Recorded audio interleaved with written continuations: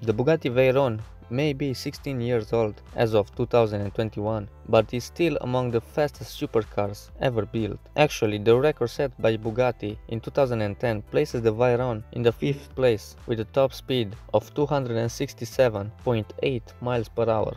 This benchmark was achieved and surpassed by the Veyron Supersport. Bugatti built a special run 30 cars called World Record Edition to celebrate the event, but these vehicles are limited to 258 miles per hour to protect the tires. The Supersport was also the most powerful version of the Veyron